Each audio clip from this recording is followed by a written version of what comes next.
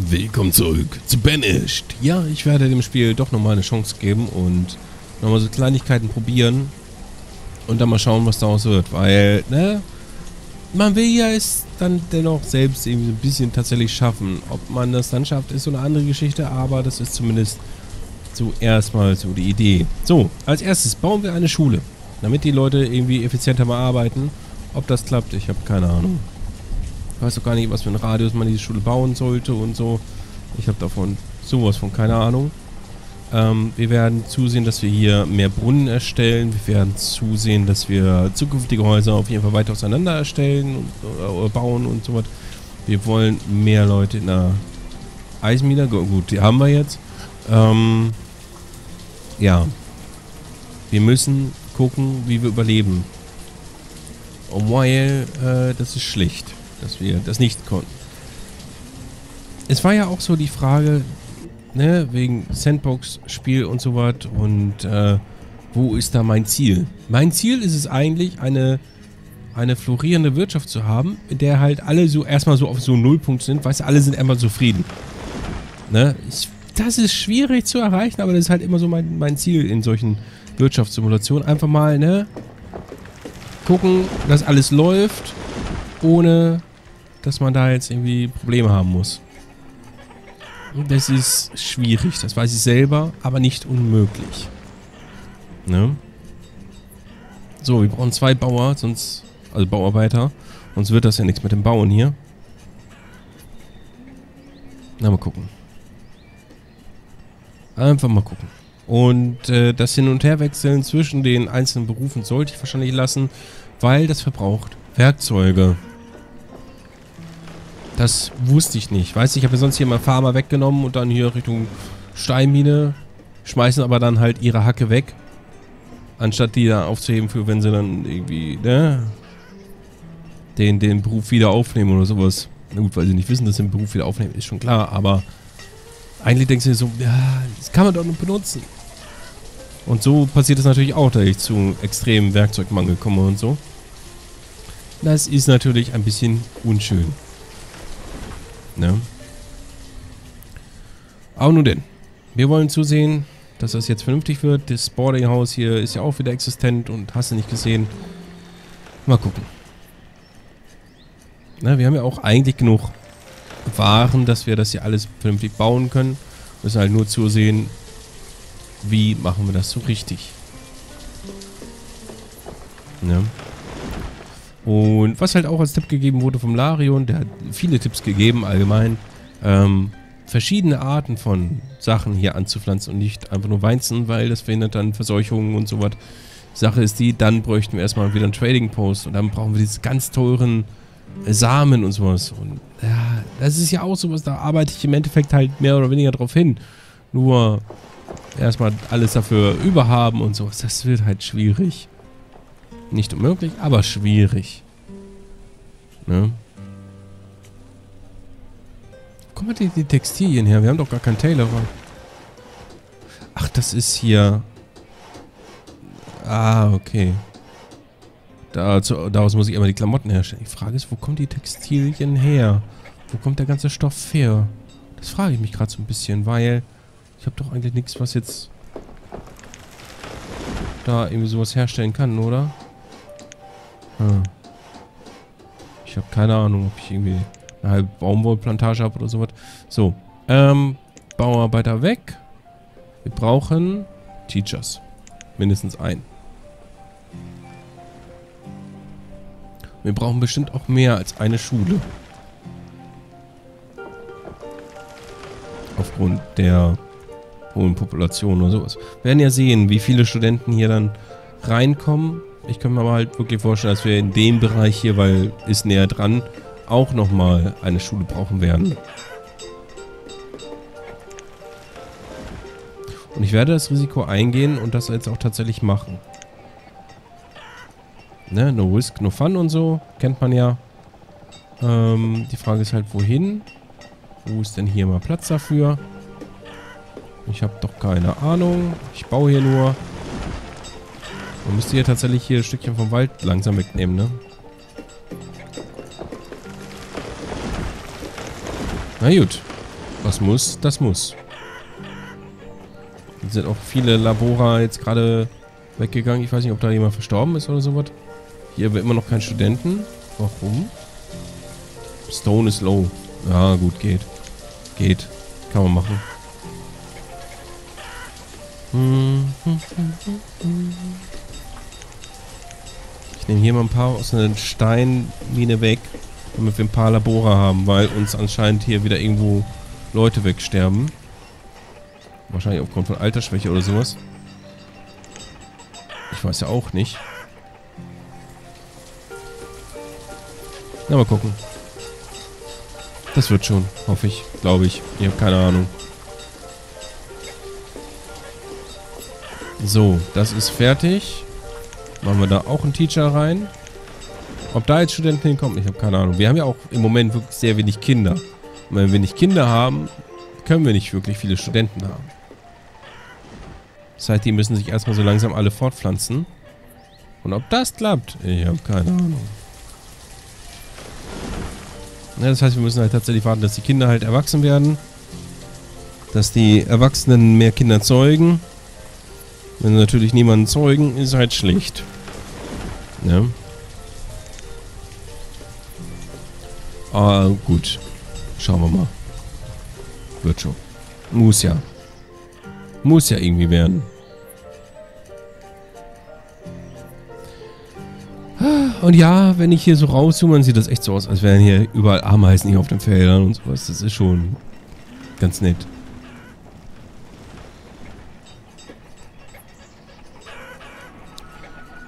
Äh, was machen wir? Was machen wir? Was machen wir? Ich habe keine Ahnung. Es ist im Moment wirklich ein Pus abgewartet. Wir haben zwei Studenten. Das ist schon mal ein guter Anfang. Sind zwar beide hier ansässig und nicht da hinten, aber ist okay. Vielleicht kommen hier irgendwann auch noch welche hin. Und die Studenten, wenn sie ausstudiert haben, sollen ja angeblich dann besser arbeiten als herkömmliche Arbeiter. Ob das klappt? Keine Ahnung. Was? Ähm, warte mal.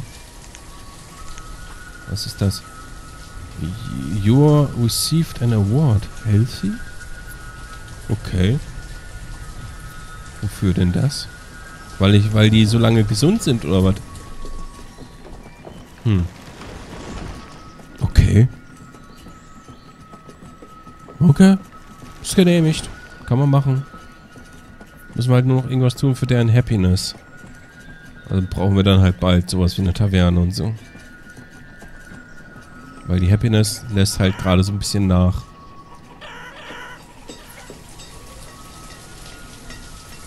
Ich meine, der ist natürlich auch sehr gesund, hier ohne Werkzeuge manchmal zu arbeiten und sowas. Ja. Kann man machen. So, was kann man denn für Happiness tun? Ähm... Happiness ist auch überwiegend hier. Also vielleicht hier sowas wie, wie eine Kirche. Kostet zwar auch extrem viel. Aber wahrscheinlich eher sowas wie eine Taverne oder so. Das hatten wir doch hier auch irgendwo. Ich weiß nicht mal wo. Da. Eine Taverne. Kostet aber auch so unendlich viel. Und dann müssten wir halt erstmal Brauer haben oder sowas. Kann, oder ist das im selben Gebäude? Ich weiß es nicht. Soweit habe ich ja nie gespielt seit über 30 Folgen hier dabei und so weit bin ich noch nie gekommen. Hm. Iron ist low, ja, ja. Du mich auch. Aber es wird hier schon wieder weniger Labore. Ich nehme hier mal ein paar raus. Es sterben zurzeit viele. Wahrscheinlich an Altersschwäche oder so. Hm lasse es mal erstmal mit dem Bauen. Ne, weil... Ich weiß nicht, ob wir dann halt wirklich zu Problemen kommen, weil uns halt irgendwo dann die Leute fehlen und so. Erstmal die Leute, die wir haben, weitermachen und hast du nicht gesehen. Und dann mal gucken. Der hat auch einen Studenten. Halleluja. Wird ja mal besser hier. Halt irgendwann die Häuser hier abreißen und Steinhäuser draus machen oder so. Also theoretisch haben wir auch noch viel, viel Platz für weitere Leute, die hier wohnen. Aber derzeit haben wir hier niemanden, der hier wohnen will.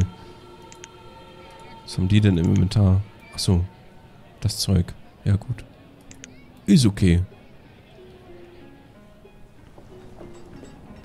Ah ja, seitdem ich nicht mehr hin und her wechsle zwischen Farmer und anderem Gedöns, verlieren die auch keine Werkzeuge mehr. Oder nicht mehr so viel. Halleluja, haben wir viel Holz. Das ist Kohle? Glaube. Ja, ja. Theoretisch muss ich halt auch die Kohle abbauen für ne bessere Werkzeuge, für Stahlwerkzeuge, die da halt auch nochmal länger halten. Nur, ne, das ist dann halt auch sowas, da würde ich halt drauf hinarbeiten, bald, wenn wir halt wirklich mehr Leute haben, mehr überflüssige Leute, dass wir halt dann sagen können, wir haben so viele überflüssige Leute, wir können uns leisten, hier weiteres Bergwerk zu erstellen und dann halt dort Kohle abzubauen oder so. Ne, weil Eisen will ich auf jeden Fall nicht unterbrechen, die Produktion. Wir brauchen Eisen. Wir brauchen viel Eisen. Weil wir brauchen auch viele Werkzeuge. Mein, natürlich brauchen wir halt Werkzeuge, die mehr halten, aber naja. Man kann nicht alles haben und so. Ja?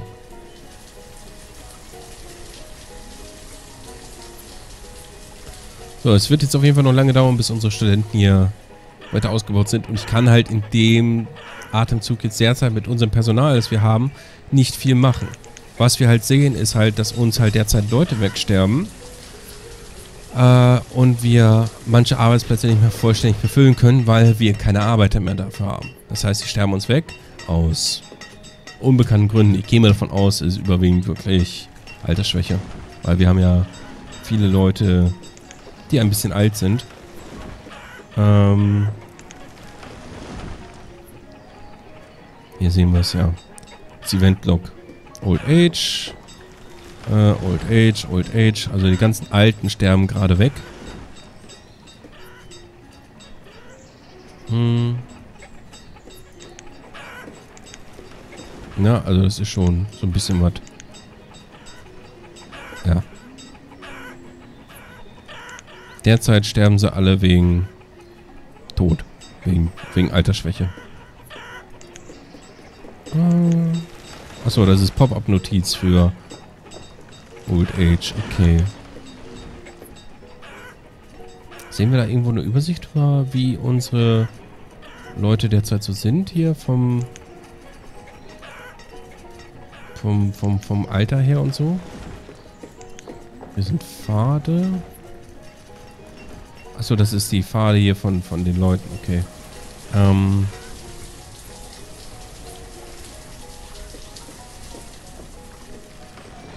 Ja, also halt so eine, so eine, so eine Bevölkerungsübersicht habe ich dafür jetzt nicht.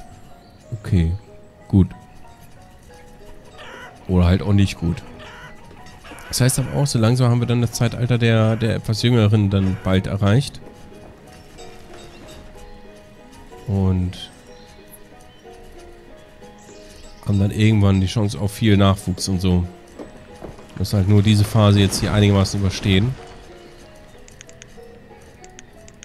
Auch wenn es mir schwer fällt, aber muss ja irgendwie. Ich muss ja irgendwo was reduzieren, damit andere mehr Platz haben. Ich könnte auch hier einen Schmied wegnehmen. Euch fehlt natürlich Eisen. Was denn auch sonst? Hm. Hm, hm, hm, hm. Alles nicht so einfach alles überhaupt nicht einfach, das alles so zu managen, dass alle überleben können. Weil bestimmte Berufsbereiche müssen ja quasi erfüllt sein, damit andere wiederum ne, mehr Platz haben. Wir nehmen tatsächlich mal, ich bin mal so waghalsig und sage, ich nehme ein paar Schmiede mehr weg. Damit wir vielleicht ein bisschen Eisen sparen. Wir haben erstmal Werkzeuge. Werkzeuge ist erstmal okay. Glaube ich. Hoffe ich. Ich habe keine Ahnung. Wichtig ist mir, dass die anderen Leute jetzt erstmal überleben. Förster brauchen wir auf jeden Fall. Wir brauchen auf jeden Fall Woodcutter, Farmer für die Nahrung und alles. Und im Moment ist halt alles ein pures Abgewarte. Und ich hoffe nicht, dass jetzt gleich wieder irgendwie ein Großbrand daherkommt. Oder irgendeine Seuche, die mir einfach sämtliche Tiere tötet und sowas. Ja, muss nicht sein. Bin ich ganz ehrlich, muss nicht sein.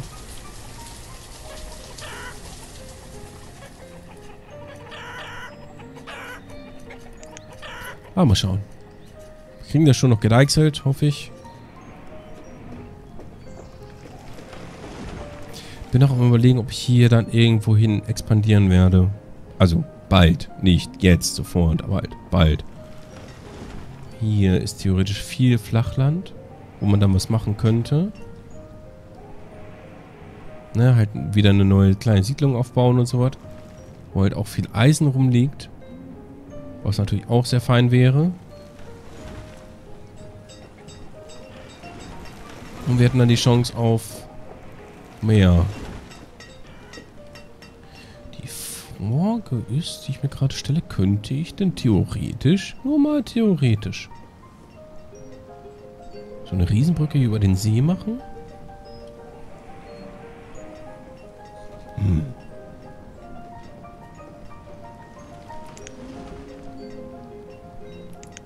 Wooden Bridge.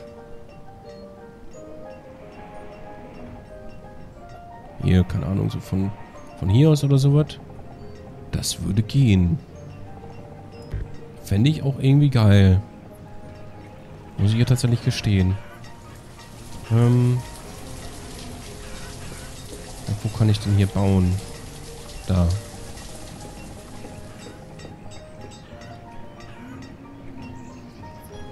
Das kostet aber auch viel, ne?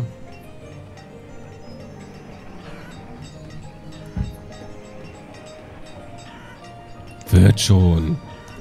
Wird schon irgendwie. So wie immer. Dann machen wir da noch einen Weg dazu. Stone Road. Dirt Road. Machen wir mal Dirt Road. Spart mehr Gedöns hier. Ernsthaft? Okay.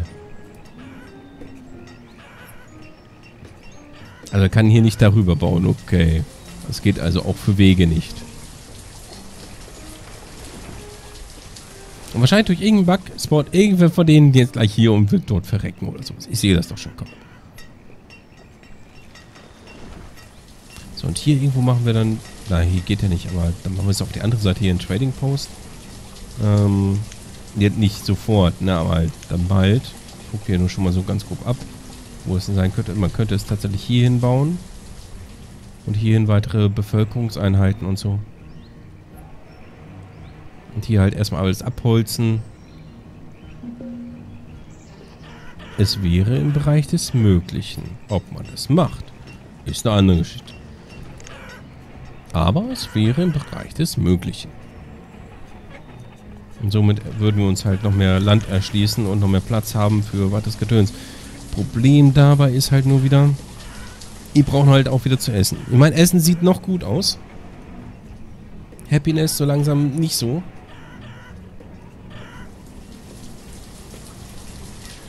Das ist halt so eine Frage. Wir brauchen erstmal mehr Leute. Wenn wir nicht mehr Leute haben, brauchen wir auch keine Taverne machen. Aber wahrscheinlich ist es so, wenn sie halt nicht happy genug sind, werden sie äh, Selbstmord begehen oder sowas. Ich sehe das schon kommen. Irgendwie so ein Dreck kommt da. Hm.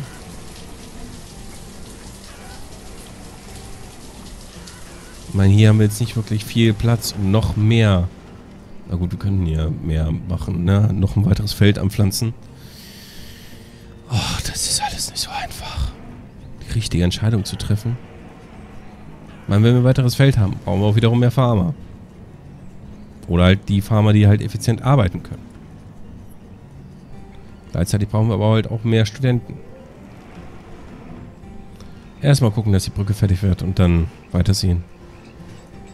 Das wird schon, hoffe ich.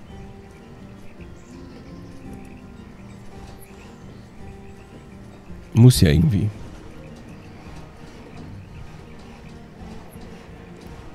Da und wir da drüben vielleicht irgendwo so ein Steinhaus hin. Kostet mich 10 Eisen, die ich derzeit nicht habe.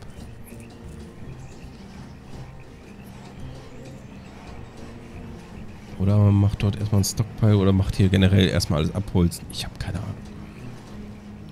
Ich habe wirklich keine Ahnung. So, Wooden Bridge ist fertig. Was ist das? Golden Gate. Aha. Haha. Ha, ha. Okay. Gut. Ähm. Hier. Remove Resources. Macht mal erstmal hier Platz. Machen wir hier dann irgendwo dann ein Stockpile hin, wenn die das dann gemacht haben und dann weitersehen. Vielleicht. Eventuell. Ich habe keine Ahnung. Aber wie das dann von hier aus weitergeht, das sehen wir dann erst in der nächsten Folge von Banished. Bis dahin, viel Spaß auch noch, vielen Dank fürs Zuschauen und bis dann.